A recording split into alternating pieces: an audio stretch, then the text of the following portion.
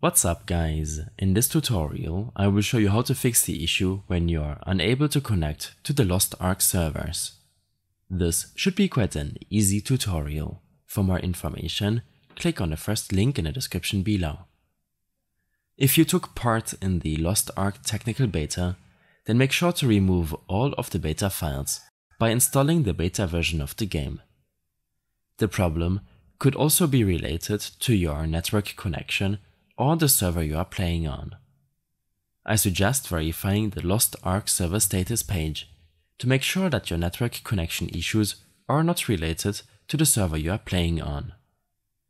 On this page, you can preview the server status for the four server locations and if the server is operational, busy, full or in maintenance.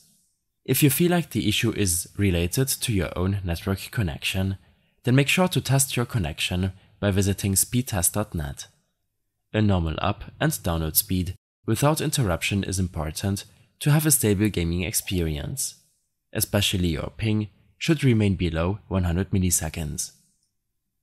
When this is done, make sure to account for any VPN service which could be running on your system, or turn off your VPN while in-game. Make sure to use an Ethernet cable to ensure the best possible connection.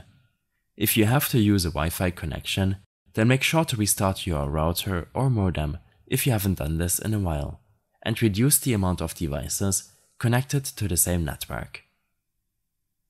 Next, open up your Task Manager by searching for it in your Start menu search. In the Performance tab, click on Open Resource Monitor in the Network tab, open the processes with network activity, and after a few seconds, you will see every process using your network connection. This might be your browser running in the background, Steam, or a download bottlenecking your connection. I suggest you only end the processes which you know won't break your operating system.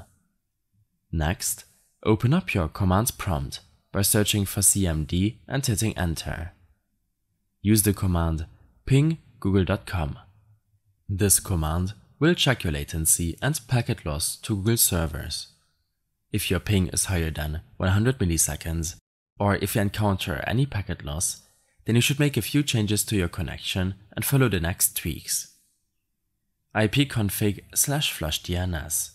This will flush and reset the content of your DNS resolver cache. Using this command, can in some cases fix network-related issues with Lost Ark. Lastly, make sure that your game files are complete and up to date. Open up your Steam library. Here, right-click Lost Ark and select Properties. On this window, in the Local Files tab, select Verify integrity of game files. This will take a minute to re-download and replace any missing or corrupted game files. When this is done, restart your Steam client.